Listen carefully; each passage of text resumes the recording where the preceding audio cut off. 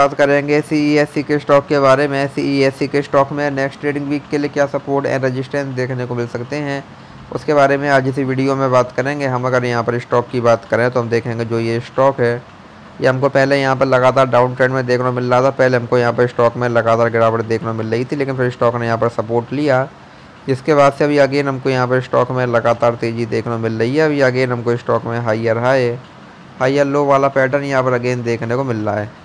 आज भी हमको यहाँ पर स्टॉक में zero point three two percent की यहाँ पर तेज़ी देखने को मिली है तो यहाँ से भी हम स्टॉक में बात करें। अगर यहाँ से स्टॉक में ये तेज़ी कंटिन्यू रहती है तो यहाँ भी और तेज़ी की कंडीशन में हमारे पास स्टॉक है। 164 का पहला यहाँ पर रजिस्टेंस देखने को मिलेगा। अगर स्टॉक इसको भी यहाँ ब्रेक करता है देन यहाँ से हमको स्टॉक है 171 और अगर स्टॉक ने इसको भी यहाँ ब्रेक किया देन यहाँ से हमको स्टॉक में अगेन एक बड़ी तेज़ी, एक बड़ी बाइंग यहाँ पर देखने को मिल सकती है। अगर स्टॉक इसको भी यहाँ ब्रेक करता है देन यहाँ से हमको स्टॉक है वन एटी देन यहाँ से हमको स्टॉक में टू और अगर स्टॉक इसको भी यहाँ ब्रेक करता है देन यहाँ से हमको स्टॉक में 225 और 240 250 तक के लेवल्स भी यहाँ पर देखने को मिल सकते हैं। वही यहाँ से अब अगर स्टॉक में गिरावट आती है तो यहाँ अब गिरावट की कंडीशन में हमारे पास स्टॉक है वन फिफ्टी पहला यहाँ पर सपोर्ट देखने को मिलेगा।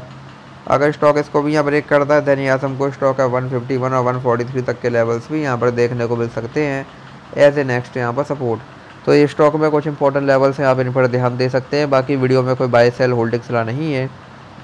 वीडियो केवल एजुकेशनल पर्पज़ के लिए धन्यवाद।